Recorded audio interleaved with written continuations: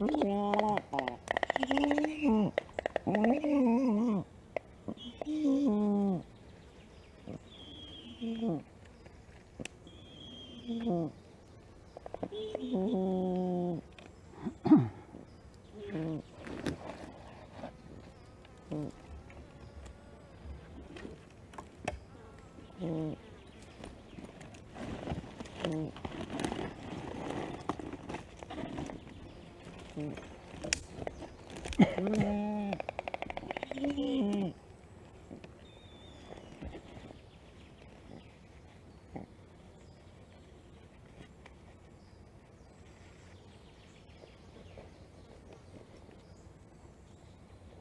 Nonii, et meil on siis plaanis praegu need eh, Must-Vanekoera pojad ära rõngastada, surnud poeg kaasa võtta ja kuna all veterinaar Madis aitab, siis, siis me saame teha niimoodi, et saadan pojad seljakotiga alla.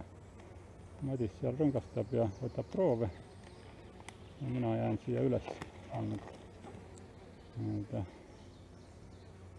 niisugust tööd tegema, mis, mis ei ole eriti rohkemat nõudev kui ronimisoskust. aga nagu näha, siis see surnud poeg on siin juba üsna ära pehmeks muutunud. samuti saame siis panen, proovin kindlat, kummikindlat kätte saada, mis ei lähe väga lihtsalt.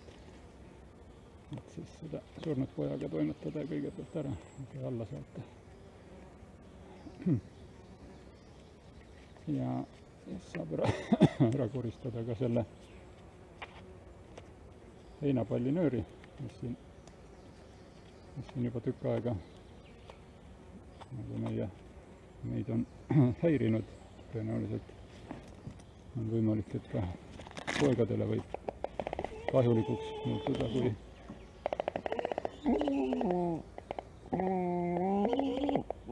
kui nad sinna takerduvad. nii. siin paar kilekotti, mille siis millest saab selle surnud poja panna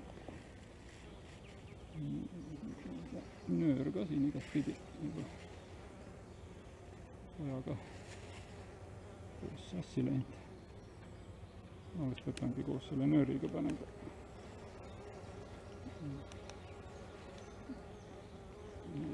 no nii.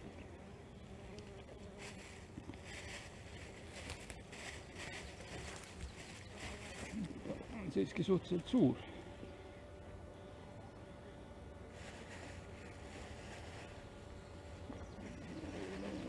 väike kilekott, mida isegi piisab ja sisse panemiseks.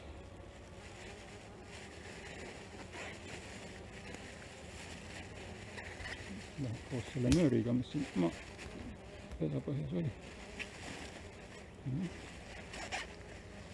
sest nendel raisamatsatel on nüüd lootused kaovad ära, et kohad korralikult süüa saada, paljuneda üks poeg on siin ikkagi väga, väga kuri kogu aeg.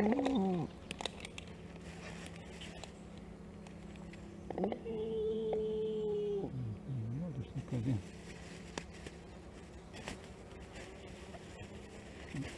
veel on seda mingit nööri veel kuskil või? oksendasid nüüd kalu ka välja, aga eks nad pärast saavad need ära süüa.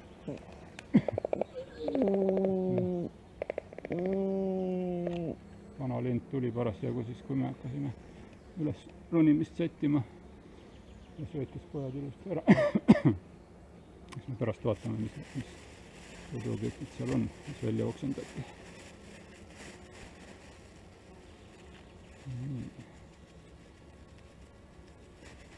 ühe kilekoti sisse sai.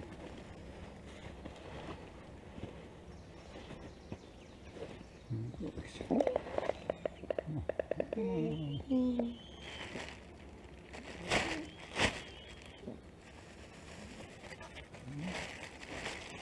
Teise kilekoti sisse ka, et et siit väga palju välja ei auraks. sest Madis saab siit määrata midagi veel, mis see surma põhjus oli. kuigi see ei pruugi nii lihtne olla.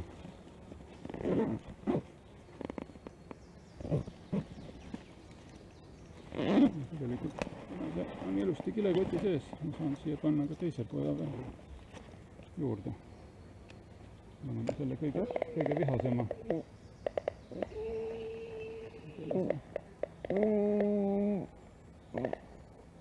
noh.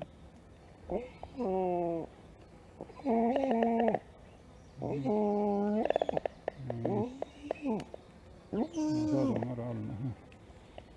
ei ole nii sõbralik üldsegi. paneme jalad ilusti kokku.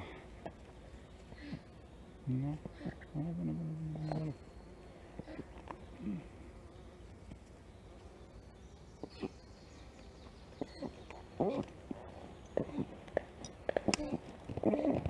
Pojad on suht väikesed, nii et ilusti seljakotti panna ära. ära mitmeks ära. väga hullu midagi.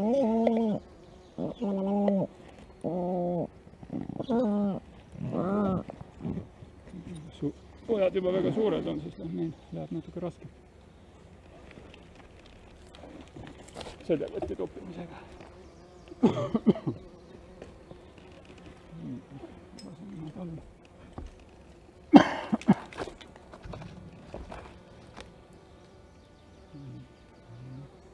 aga pärast võtan kummitundide ikka nagu tööd teha ei saa. ja siis, Madis siis rõngastab ka all ja mõõdab ja võtab proove, et vaadata, kuidas siis nende poegade tervis on. et ma panin siis selle kilekotiga selle surnud poja sinna põhja ja siis kõige kurjem poeg on peal.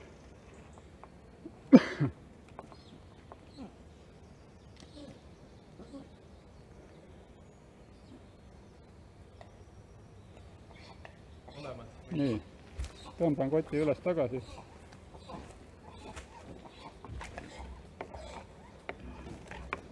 paneme järgmise poja ka juba sisse, senikaua kui Madis seal toimetab, siis ma jõuan juba järgmise poja alla lasta. ja kui kott on all juba, siis juba saab, saab seal sellega toimetada.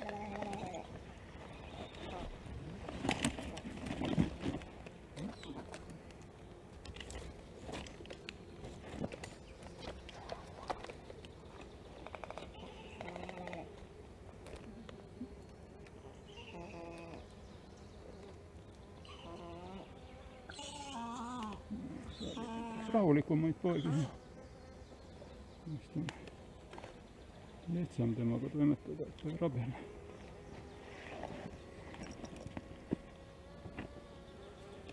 teeme siia ilusti ruumi.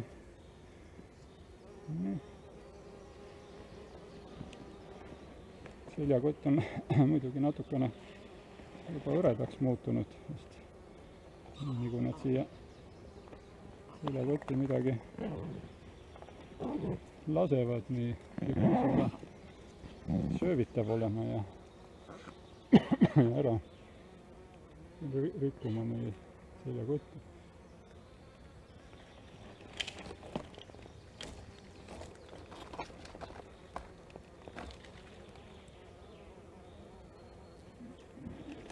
teine poeg ka all.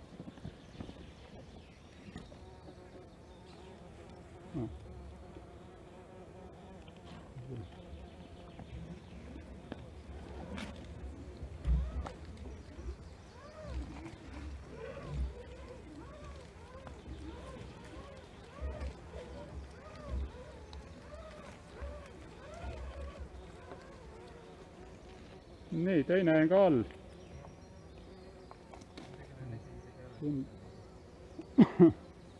tundad võib nüüd ära võtta.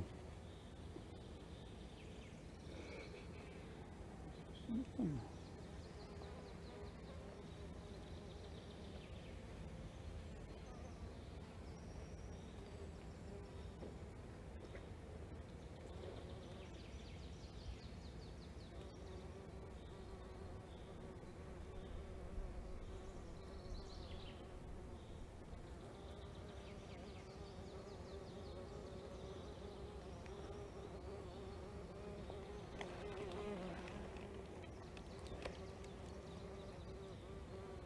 Senikaua, kui nüüd Madis seal all toimetab, vaatame, mis siin pesas siis veel on.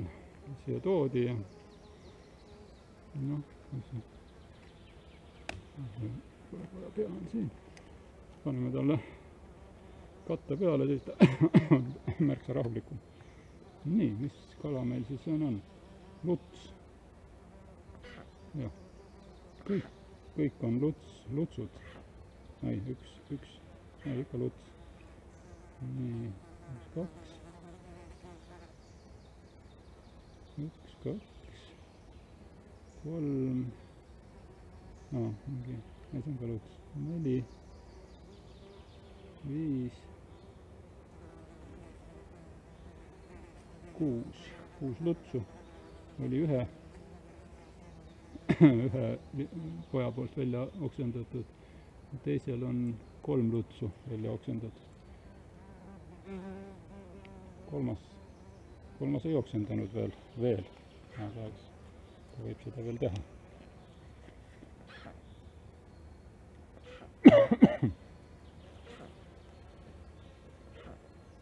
niikaua kui Madis seal toimetab, on meil aega siin muude asjadega teha.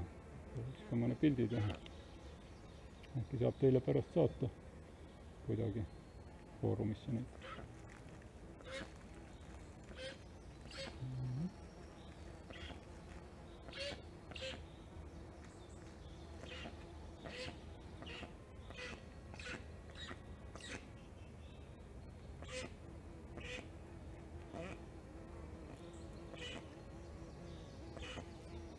kutsusin muidugi sambliku, samblaga koos. Mis siin pesapõhjas on, et nüüd raskesti ära tuntavad, aga nagu ta puhtamaks teha.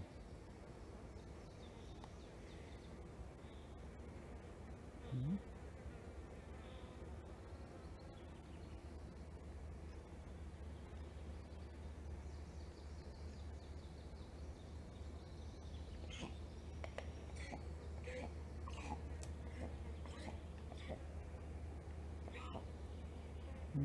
Mis siis sinna kaamera poole siit pesa poolt paistab?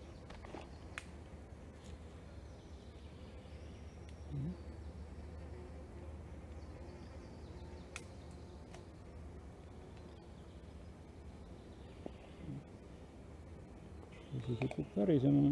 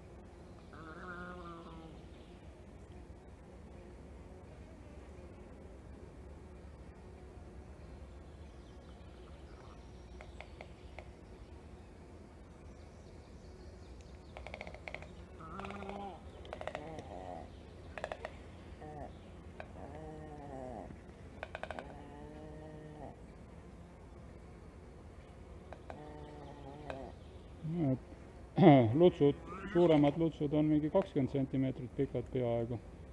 väiksemad on siin nii viis kuni, viis kuni viisteist. aga ju siis praegu on ojad üsna tühjad ja, ja lutsud on ilmselt jäänud kuskile, kuskile nendesse kohtadesse, kus vesi veel on ja sealt on neid hea korjata. kuigi siin kõrval olevat oja, ojast üle, üle sõites paistis küll, et suhteliselt äh, vesi oli ikka seal sees, kas ta nüüd voolas, seda me ei vaadanud.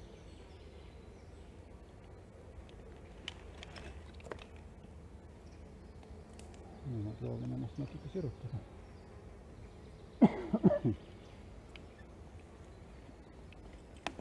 niimoodi poja üles saadad, siis pean jälle niikuinii sealt kükitama.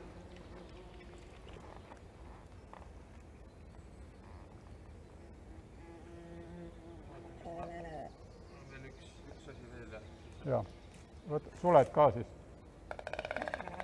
jah, suled võtsin. ahah. nokapikkus, tiivapikkus ja kaal on nagu need, me oleme võtnud.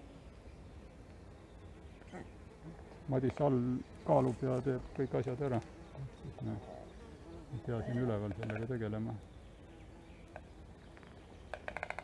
vaatab ka üle pojad, et kuidas nende konditsioon on ja mis asjad.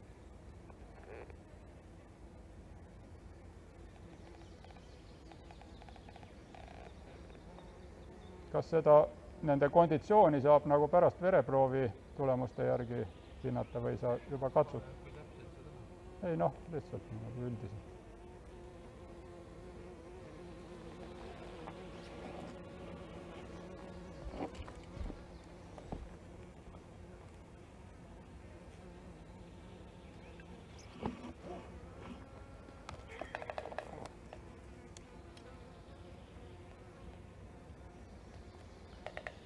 Madis võtab niisuguseid noh, proove, et parasiite määrata, kas neil on mingisugused parasiitide mune seedetraktis, kas kaanid on kurgus näiteks.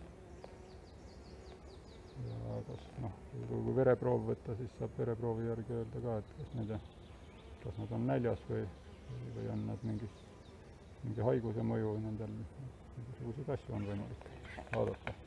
kas seda nüüd kohe saab teha, aga proovid on olemas, seda võib-olla kunagi hiljem täpsemalt analüüsida.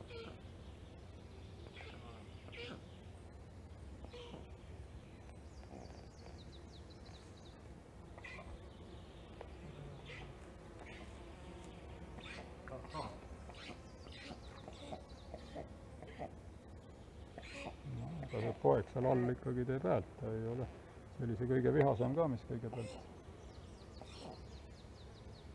alla sai.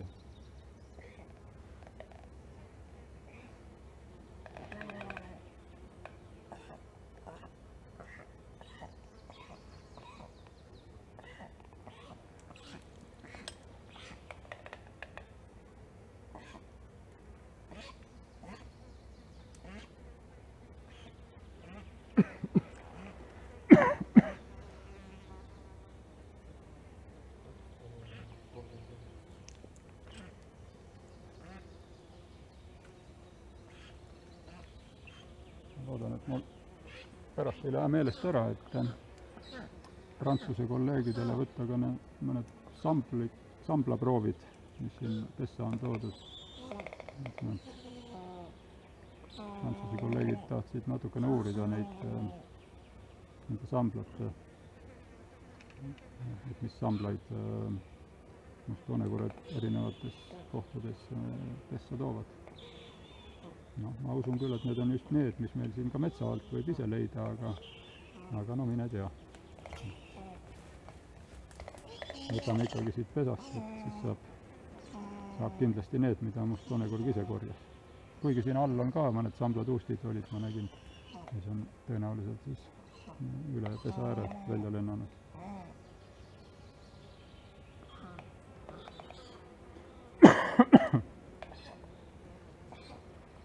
aga võib-olla saame nii teha, et äh, Madis saadab lõpuks alt nende teist samal tasemel, et noh, ei, ei jätaks siia nagu sellist äh, võid üles võtta. tühja pesa.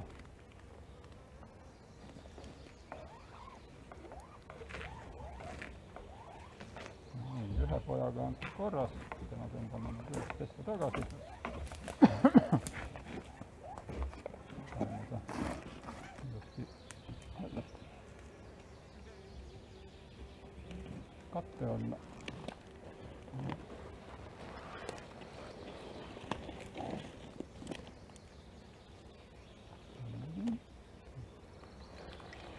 pesame, pesame, pesame, pesame tagasi minna.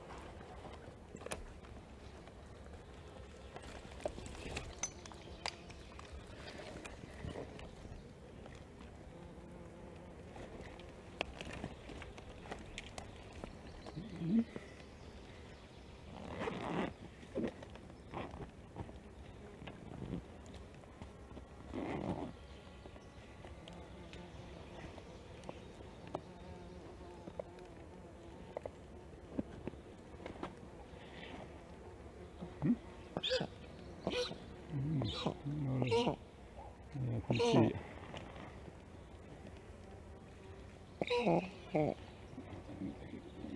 püsti peale panema muidugi. hakkab siin kindlasti rapsima ja peksma.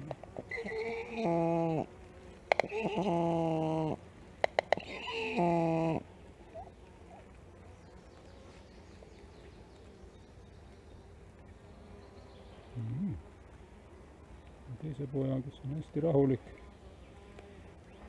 saame siis selle kotti panna. ikka erinevad need õed ja vennad või kes nad siin on. kõik vennad või kõik õed ma ei tea.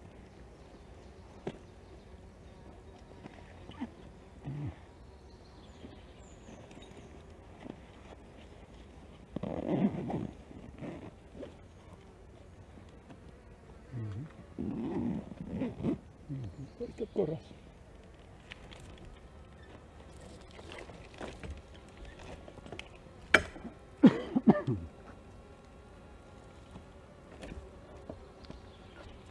Kuuma ilma tõttu olen mina ka köhas olnud.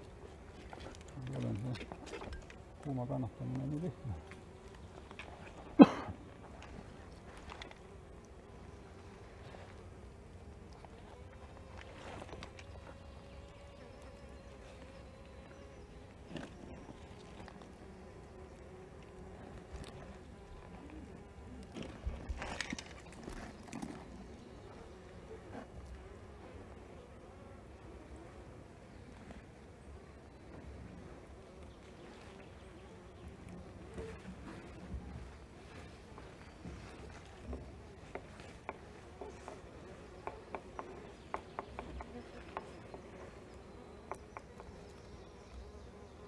nii.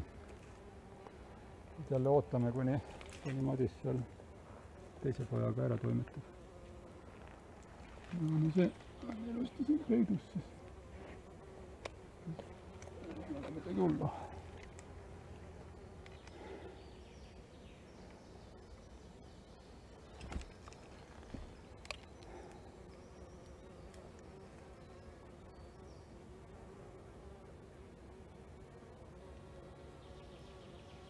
See, miks äh, nüüd see neljas poeg äh, ümber kukkus ja, ja enam püsti ei saanud, seda me praegu niimoodi öelda ei oska, et mis see põhjus oli. aga noh, ütleme, et kui me, kui meil ei oleks kaamerat siin, siis me nagunii poleks osanud siia appi tulla. ja noh, ei tahaks nagu teha kaamerapesades teistmoodi, kui me tavaliselt teeme. muidu me ei saa, muidu me tekitame mingi kunstliku olukorra. see ei ole sama, mis looduses teistes või noh, peaaegu kõigis pesades tegelikult toimub. et selle tõttu me ei taha ka sekkuda, isegi siis, kui seda olukorda, mis seal võib tekkida, on ebamugav jälgida või vaadata. aga ega me sellepärast ei ole ju kaameraid pannud, et äh, kõigil oleks mugav. pigem sellepärast, et mustoonekored ka edaspidi siis äh, nii Eestis ja ka mujal suudaksid elada, aga mitte, mitte niivõrd inimese toel, vaid pigem nii, nagu nad ise on kuidagi evolutsiooni käigus äh, kujunenud välja. ehk siis pesitsema võimalikult kõrvalistes kohtades, nagu siingi.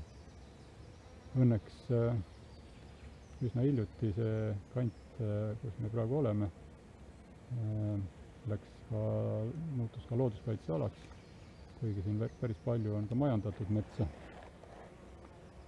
aga see musttoonekore pesapaik on siinsamas olnud, mitte, mitte selle puu otsas, aga, aga siin läheduses olnud juba pea kolmkümmend aastat, noh, teadaolevalt. ja loodetavasti siis nii-öelda looduslik seis siin või looduslik mets siin saab ka nüüd edaspidi järjest looduslikumaks muutuma.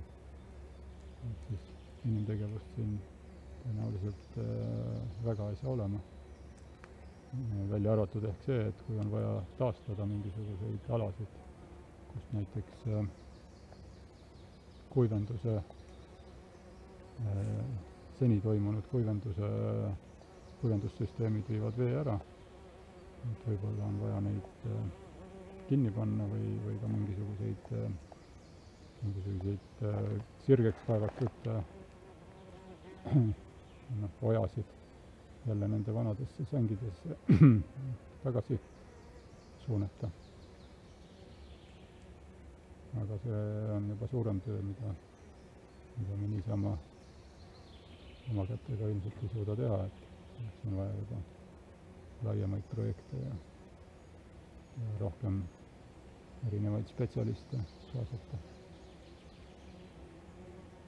aga noh, vähemalt praegu tundub, et äh, nii palju, kui minul on õnnestunud seda veebikaamerat jälgida üldse muidugi. et siin ikkagi toidetakse poegi päris hästi. järelikult kuskil, kuskilt on neil vanalindudel seda kala võtta, mida siis poegadele tuua.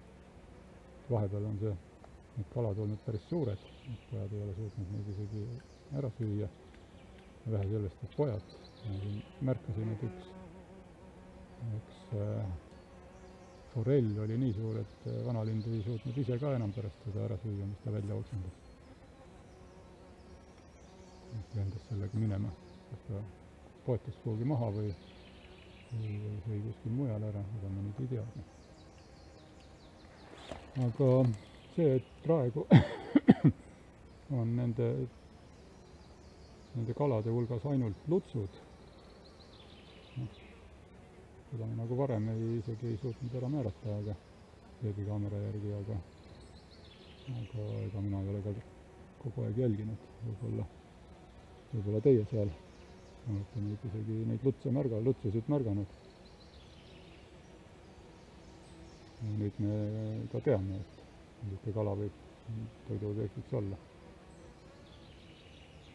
loomulikult, eks nad toovad seda, mida nad kätte saavad ja, ja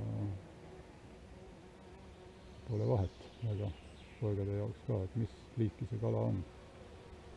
peaasi, et kõhu täis saab. samuti võivad need ju konnad olla üldse.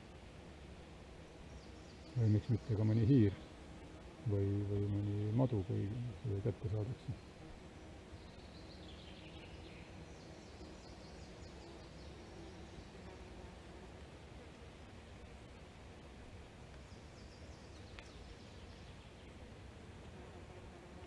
teoreetiliselt äh, sel õhtul, kui, kui poeg, neljas poeg pikali kukkus, noh,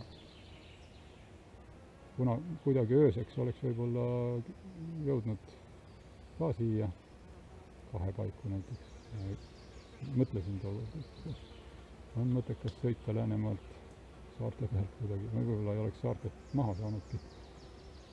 öösel praamid vist, vist ei sõida väga et äh, jah, ega see siia tulek oleks olnud keeruline ja kuigi selline mõte nagu käis peast läbi, aga kui nagu rahulikumalt äh, asja oma jaoks hakkasin arutama või lahti mõtestama, siis siis ma ikkagi jäin selle juurde, et me ei, ei sekku. mis siis, et seda, kõike on äh, raske vaadata, aga teisalt jällegi me näeme seda, mis äh, nendes pesades toimub, mida me ei saa jälgida. noh, me näeme muidugi väikest osa. ja aga see loodetavasti see valik on niisugune juhuslik, et mm, kaameraid pannud juhuslike pesade peale. ja, ja mitte ainult siin Eestis, vaid õnneks on neid ka mujal ja saame ka teisi, teisi, teiste riikide, lähiriikide mustjoonekurgade käitumist äh, nagu arvestades ja, ja kokku pannes võib-olla saame päris hea pildi mingil ajal.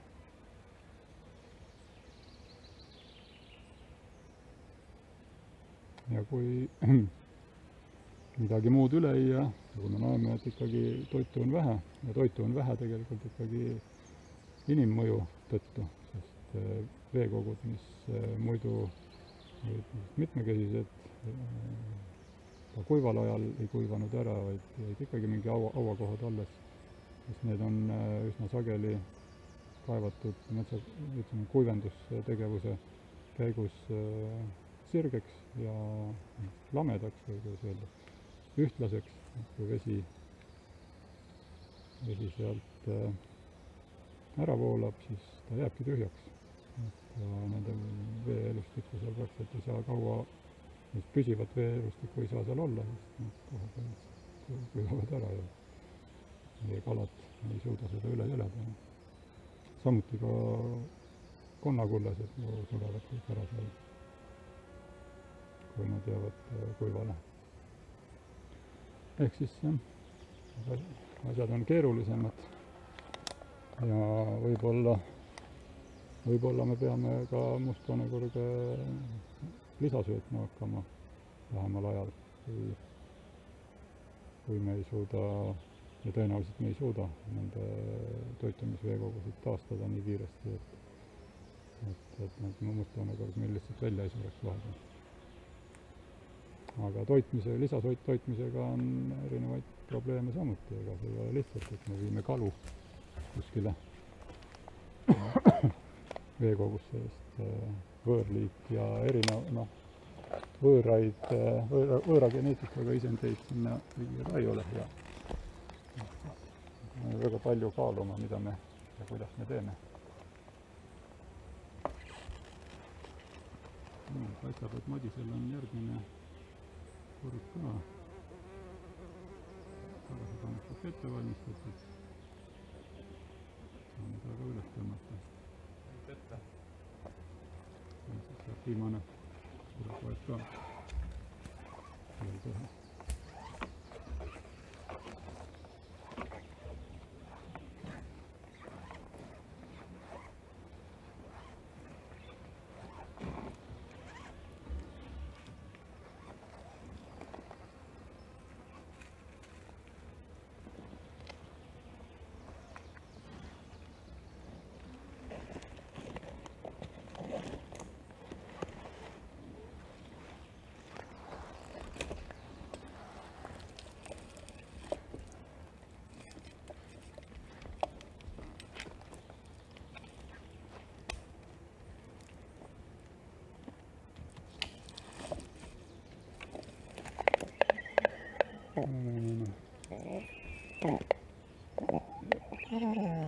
kuri poeg ikka, troll.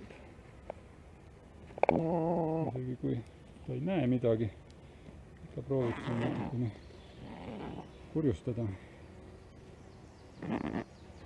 nii. vaatame, mis see järgmine tegelane siin teeb.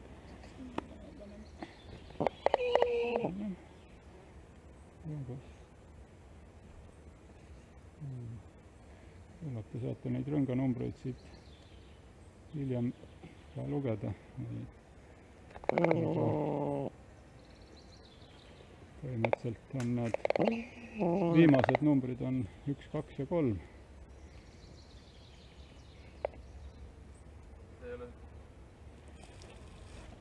esimene oli kaks koma neli kilo, teine oli kaks koma viis kilo.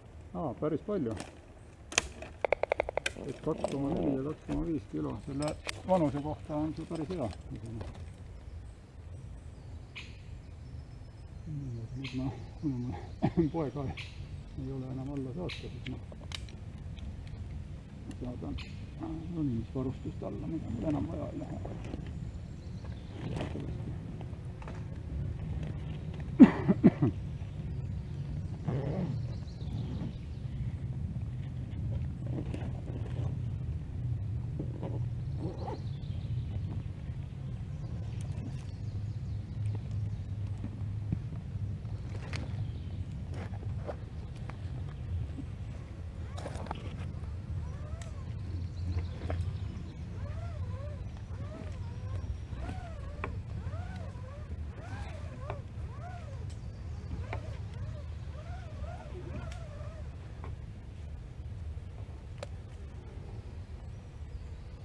Et kui sa järgmist hakkad sisse panema, siis võta need ronimisasjad välja. ja äkki sa saad metsa alt ka niisugust mingit sammalt panna natukene, et ma võtan siit osa sammalt ära, paneme asemele ka ja ma arvan, et sinna selle koha peale, kus see surnud poeg oli, et sinna paneks natuke rohkem seda sammalt.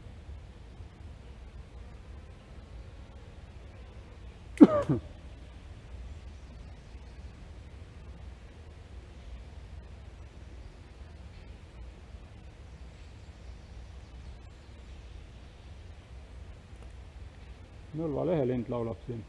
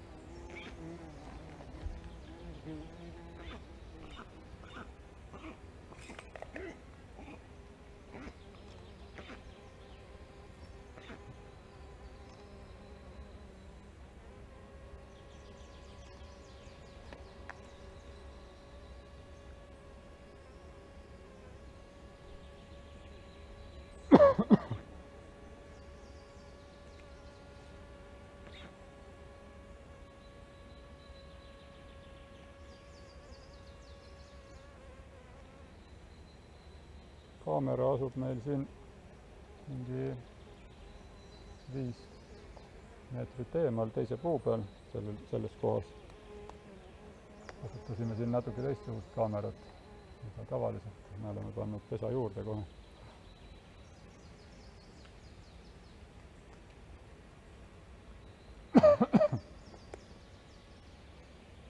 ja noh, tänu, tänu meie vaatajatele ja, ja, ja vaatajatest toetajatele oleme siis tegelikult suutnud selle, selle kaamerasüsteemi siia üles sättidagi.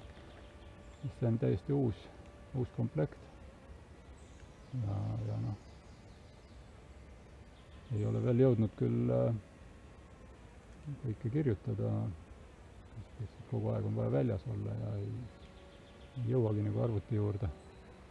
aga, aga igal juhul äh, noh, siin tuleb tänada neid toetajaid, kes meil on kas siis teinud püsiannetusi või, või ühe või, või ühekordseid suuremaid an- annetusi, aga abi on kõigist.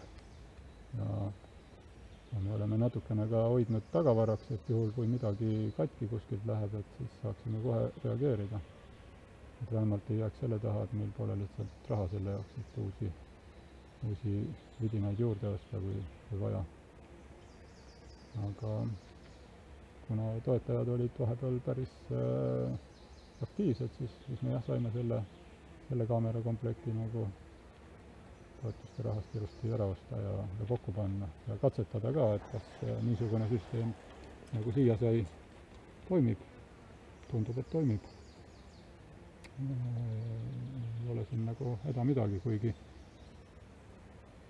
akud ja päikesepaneelid on meil tegelikult sellest pesast umbes seitsekümmend kilome-, seitsekümmend meetrit äh, eemal. Ähm, ehk siis äh, see kaabel on päris pikk, seda mööda kõik siia tuleb ja vool siia tuleb ja, ja siit siis andmed lähevad antenni juurde, mis on samuti siit seitsmekümne meetri kaugusel. enam-vähem kõik toimib. vahepeal muidugi ülekandes äh, auke tekib, aga see ei ole pi-, pigem see meie kohalik probleem, vaid äh, see on nagu kaugemalt äh, Youtube'ist, mille kaudu me teile edastame pesaelu, et need probleemid kipuvad sealt sealtpoolt tulema. aga seda me ei saa kuidagi kontrollida samas noh, võib öelda, et selle pesaga on küllaltki hästi läinud. et siin katkestusi suhteliselt vähe, on, mõned on palju keerulisemad. näiteks teise mustjoonekorrapesa ühendust me pole senini käima saanud, kuigi pesa juures on kõik nagu korras, aga aga häid, tugeva äikse tõttu on mitmeid vigu tekkinud sisse, mida me ei suudagi vist enam parandada ja me hakkasime juba uut ülekandesüsteemi sinna ehitama. loodetavasti saame sellega varsti käima ja need saame ka teist, teisest Must-Vaanekorra pesast vaadata, et kuidas sealsed linnud lennu võimestuvad ja kas neil ikka toitu jätkub ja kõike niisugust asja et nemad on seal juba ära rõngastatud, neile on ka vaatajate poolt ostetud äh, saatjad külge pandud, seekord jalgade külge, jala külge, rõnga kõrvale. et eks me näe, kuidas need toimivad. kuidas nad siis äh, edaspidi käituvad või kuhu nad lendavad. lootus, et meie mõni jälgitav kurepoeg pesitsema hakkab, on, oli juba üsna noh, nii-öelda täitumas, aga kahjuks ikkagi, et äh, neid ohtusid rändeteedel on nii palju, et äh, nendest, sellest kadalipust läbisaamine ei, ei olegi üldse lihtne. toonekurgedel ega ka teistel lindudel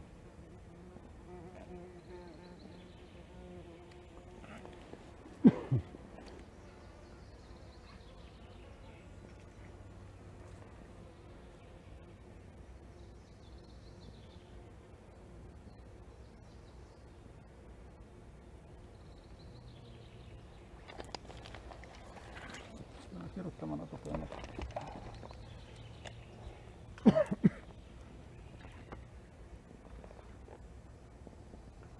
ja ega me nüüd väga täpselt tea, kui meil äh, tekib mingi võimalus äh, ka siia pessa vähemalt üks, äh, üks saatja veel panna.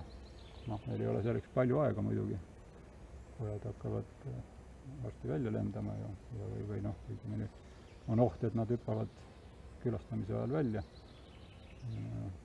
et eks me kaalume, kas me, kas me suudame ühte saatjat kuidagi kuskilt leida, et, et neile panna ja jälgida ka neid, selle pesakonna poeg, vähemalt ühte poega. kõikide üle me kindlasti ei, ei suuda leida, aga ma arvan, et ei suuda. aga kui ühelegi saab panna, et sellised, ega me siin ei tea ka vanalindude liikumisest midagi.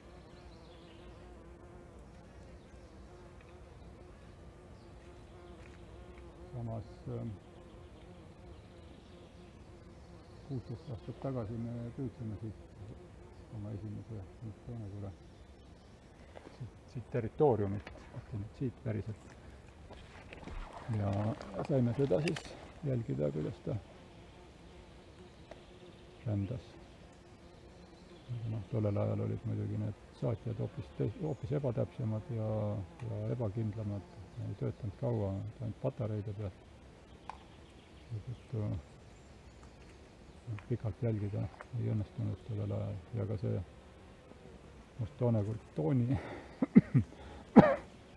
kes siis siin sellel territooriumil elas, tema sai ka kuskil Liibanonis hukka rände ajal.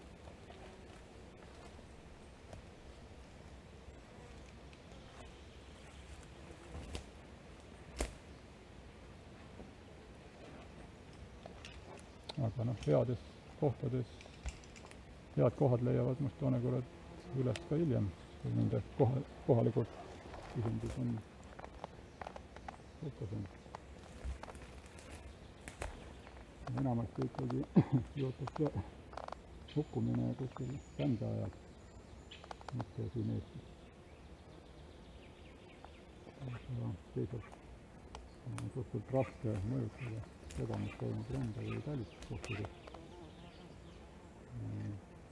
siis me saame ainult suurendada nende poegade ja lindude heaolu siin, et nad paremas konditsioonis rändele ja võib-olla saaksid paremini hakkama. nii, kas praegu on kõik küljes? ja sambla said ka panna? samal all eh, lind peal. hästi.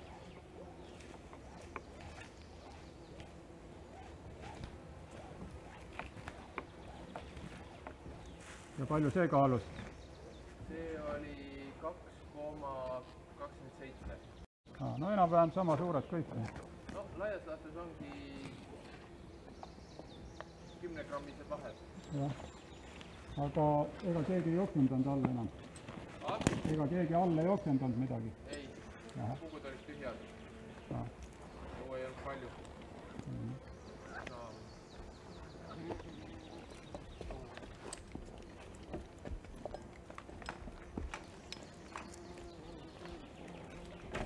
väljaheidet ka ei olnud. ahah. No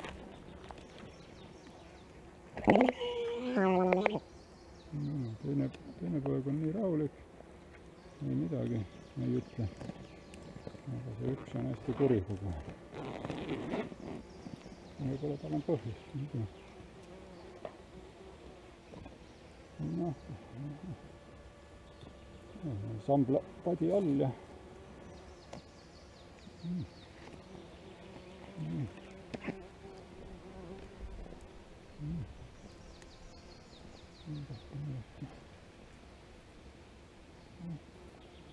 seitse, üks, kaheksa, kolm on see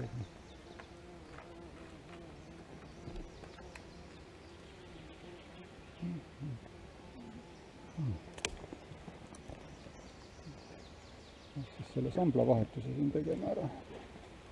võtan sedasamalt, mis pessa on toodud prooviks prantslastele.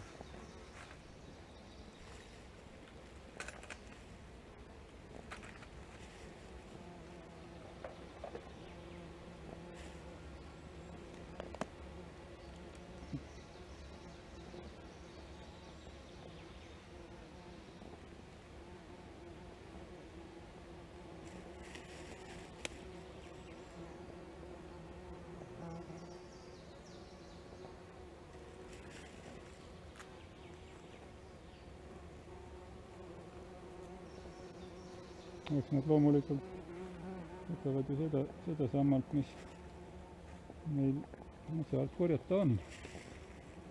võtame selle, selle taime ka siia.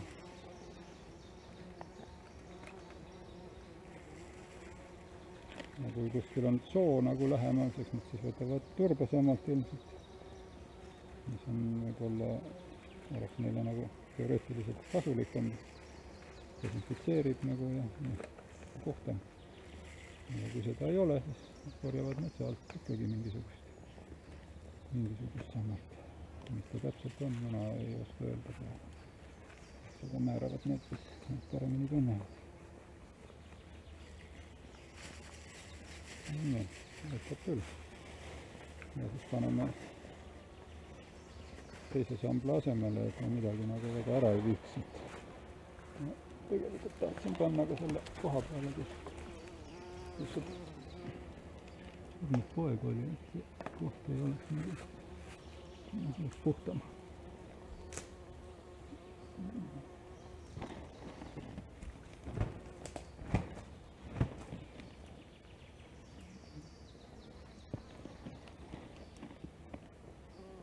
kala me ei jõudnud võtta, peame hommikul ära joonud seda ka kuskilt saada.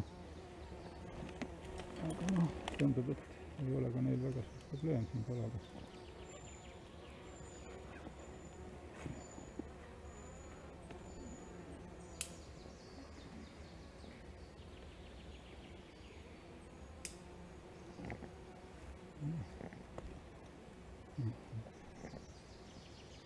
kalu ei tohi jälle ära ka peita, mis, mis meil olid loodud siin, välja jooksnud.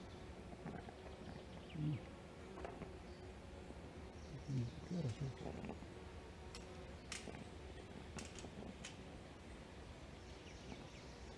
Küllap see vanalind tuleb, küll ta sä- sätib selle sandi õigesse kohta, eks ole.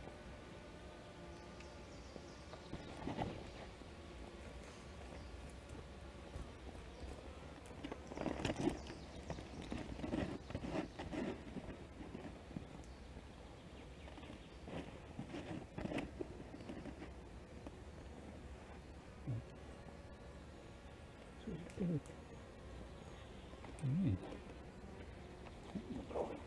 natuke kaugemale minna ja.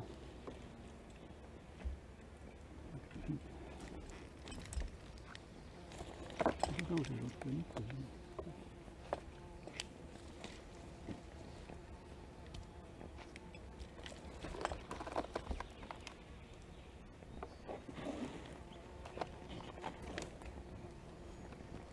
pealt ära nüüd selle kohta.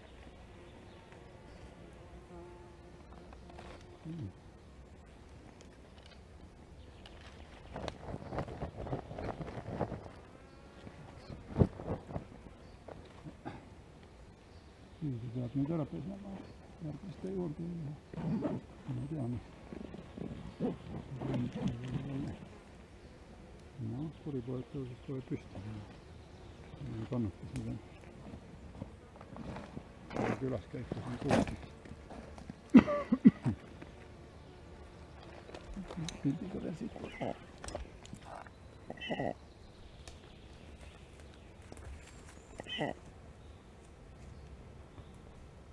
ma arvan, et kui me ära lähme, siis küllap nad söövad need kalad ka ära siin, lutsud.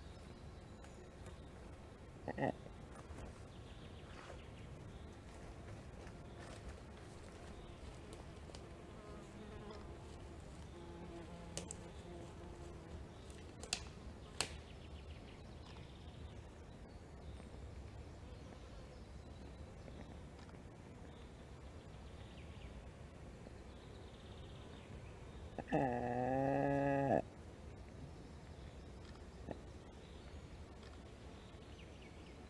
uh, Aqui por onde que origem? Uh, uh, uh, uh, uh, uh, uh.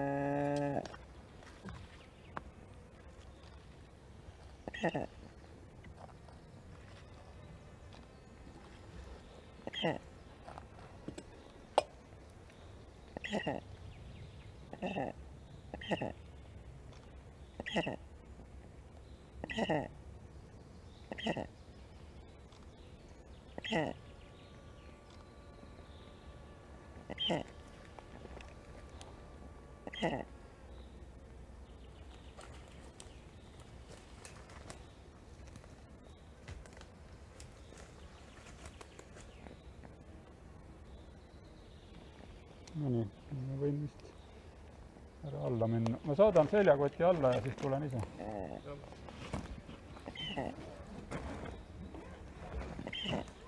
siis tõmbame nööri tagasi.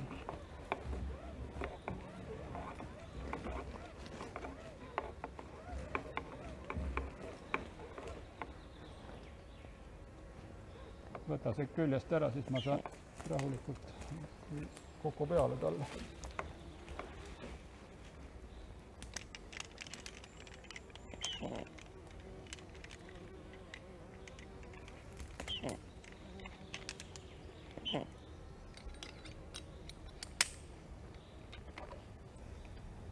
aga nii, ma arvan, et pojad saavad nüüd ilusti siin hakkama. loodan,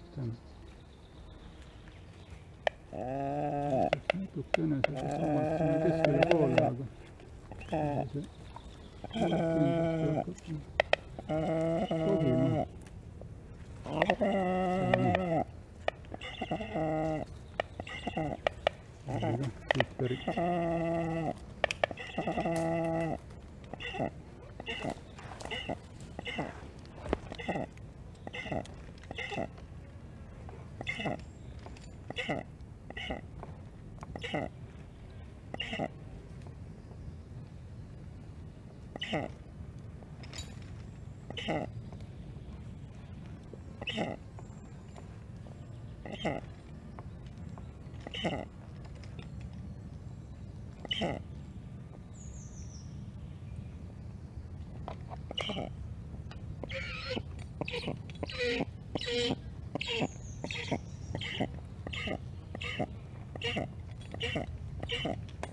siit pärit panen ennast nööri külge kinni.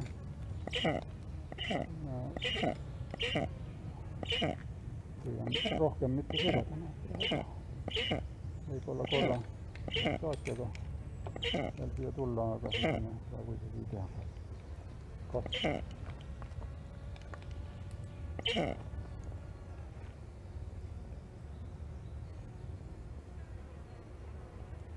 Neid hiliseid, hiliseid pesa- pesakondi on veel ja on veel hilisemaid. võib-olla me tahame natuke jä- vaadata, et mis nendest ikkagi saab. senini ei ole väga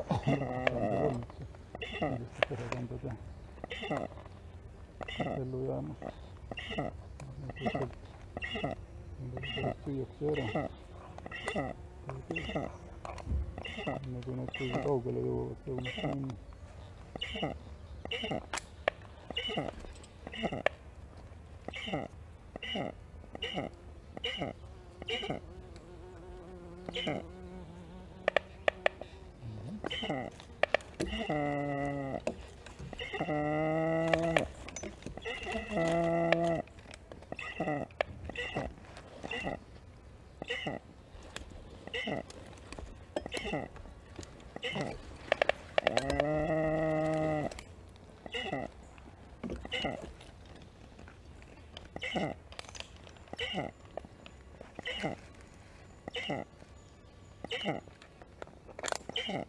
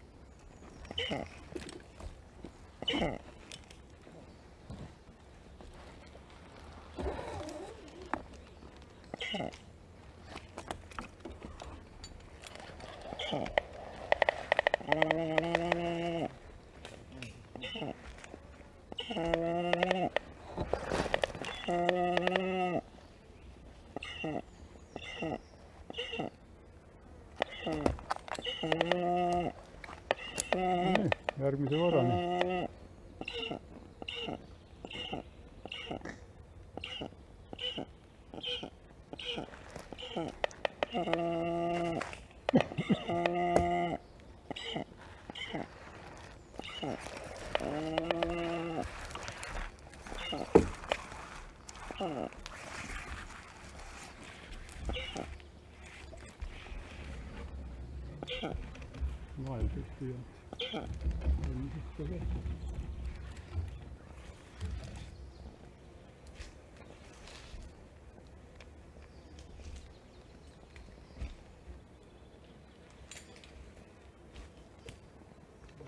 sagedus.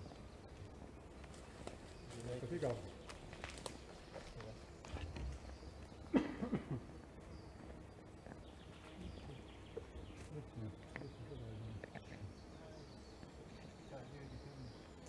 hea kott jälle.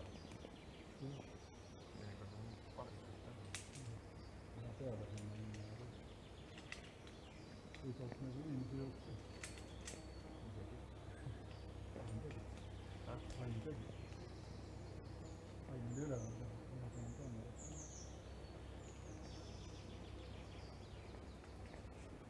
kogu aeg tundub, et seda on.